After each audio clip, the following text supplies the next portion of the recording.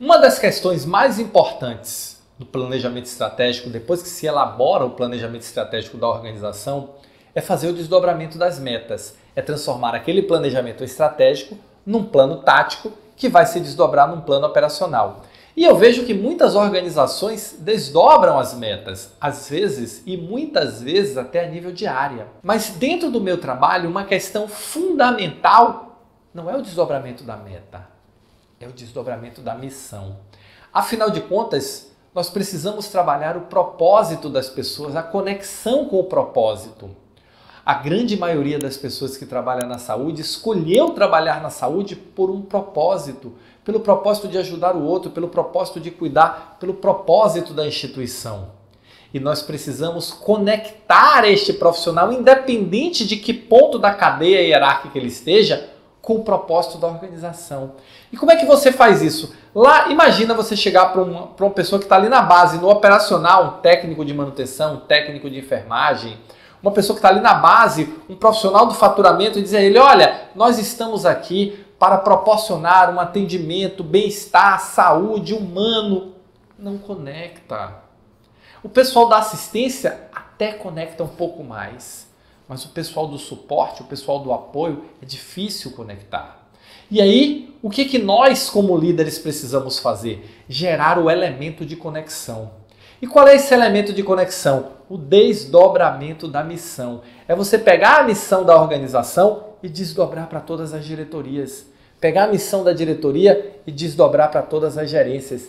Pegar a missão da gerência e desdobrar para a coordenação. Pegar a missão da coordenação e desdobrar para a supervisão. É você ir fazendo o desdobramento da missão. Por quê? Porque o senso de propósito nós vamos trabalhar lá na ponta com a missão desdobrada. Eu não vou precisar criar uma visão lá tão do futuro, tão longe, tão, tão distante. Eu vou conectar ali com o dia a dia. E eu vou conectar os indicadores de desempenho na missão para fazer sentido. Eu vou conectar as metas na missão para fazer sentido.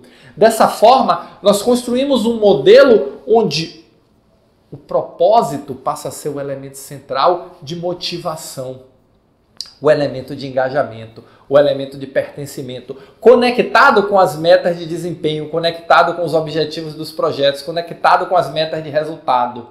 E aí você vai efetivamente ter uma organização totalmente conectada no propósito. Dentro do programa, no alinhamento estratégico, essa é uma das principais atividades e eu não entendo por que, é que todo mundo que faz planejamento estratégico não faz desdobramento de missão.